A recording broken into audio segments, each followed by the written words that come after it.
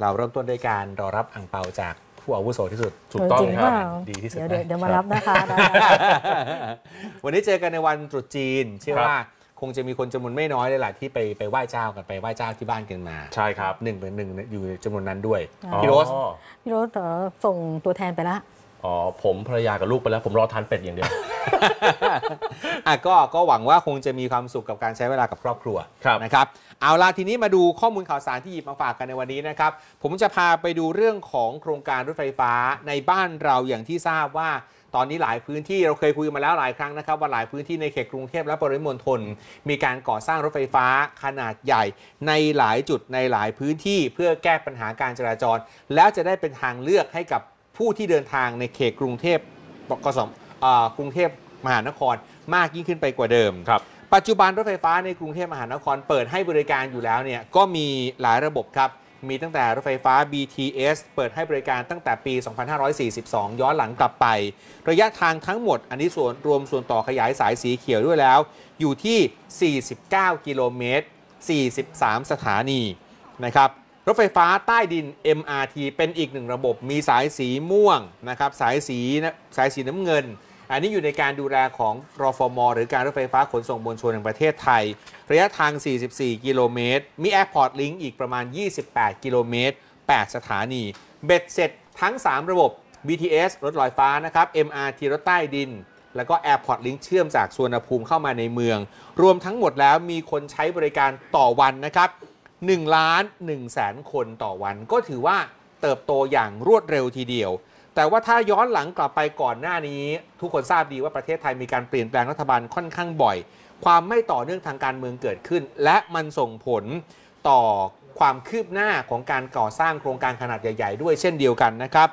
มีเรื่องของความไม่ต่อเนื่องทางการเมือง มีเรื่องการชุมนุม โครงการเส้นใหม่ๆ รถไฟฟ้าเส้นใหม่ ๆ ที่จะอนุมัติชะลอออกไปหลายปีพอสมควร เพิ่งจะมีการเร่งอนุมัติ ให้มีการเดินหน้าโครงการในช่วง 4 ปีที่ผ่านมา นั่นทำให้ปัจจุบันนี้มีโครงการรถไฟฟ้าหลายเส้นทางที่กำลังเดินหน้าต่อนะครับและมีข้อมูลจากกระทรวงคมนาคมบอกว่า เมื่อโครงการรถไฟฟ้าระยะที่ 1 10 เส้นทางแล้วเสร็จ เราจะมีระยะทางของรถไฟฟ้าที่สามารถใช้บริการได้ 400 กิโลเมตร ประมาณการว่าในปี 2570 ก็คืออีกประมาณ 8 ปีต่อจากนี้ไปครับ จะมีคนใช้บริการรถไฟฟ้า 3 ล้าน5แสนคนต่อวัน หลังจากนั้นอีก 5 ปีจะเพิ่มขึ้นเป็น 5 ล้านคนต่อวัน พอปริมาณคนที่เพิ่มมากขึ้นในการใช้บริการรถไฟฟ้าแบบนี้ทำให้หน่วยงานที่รับผิดชอบการทำแผนเรื่องระบบขนส่งมวลชน อย่างสำนักงานนโยบายและแผนการขนส่งและจราจร หรือสอนอขอต้องออกแบบครับเอาเรื่องของระบบไอทีมาอำนวยความสะดวกให้กับผู้เดินทาง ตอนนี้มีการพัฒนาแอปพลิเคชันบนโทรศัพท์มือถือบนสมาร์ทโฟนชื่อว่า BKK Rail ครับ จะเป็นแอปพลิเคชันที่เป็นศูนย์ข้อมูลระบบรถไฟฟ้าทั้งหมด อำนวยความสะดวกให้กับคนที่ใช้บริการ ตอนนี้อยู่ระหว่างทดสอบครับ คาดว่าจะเปิดให้บริการได้ประมาณมีนาคม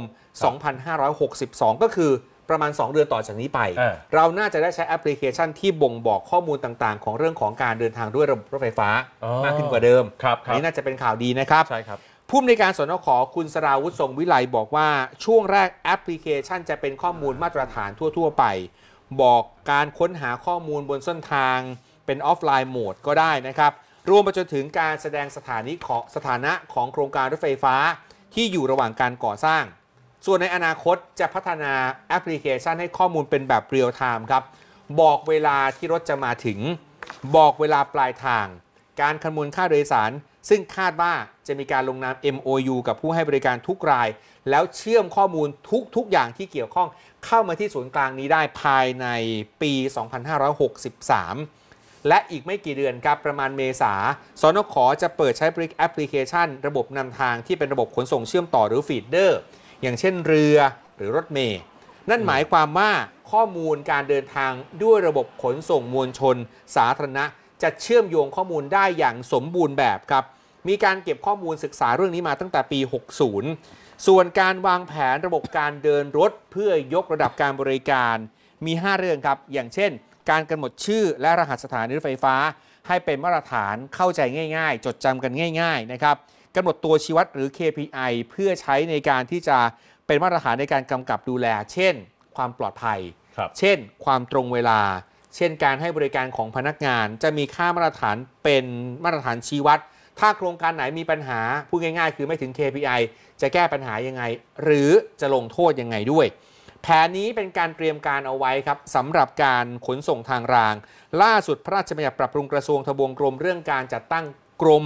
ขนส่งทางราง ผ่านความเห็นชอบของสอนอชไปแล้วนะครับเมื่อ 17 มกราคม62 ก็คาดว่าจะประกาศในราชกิจจานุเบกษาได้เร็วๆนี้ และน่าจะสามารถจัดตั้งกรมการขนส่งทางรางได้ ประมาณเมษายนถึงกันยายนปีนี้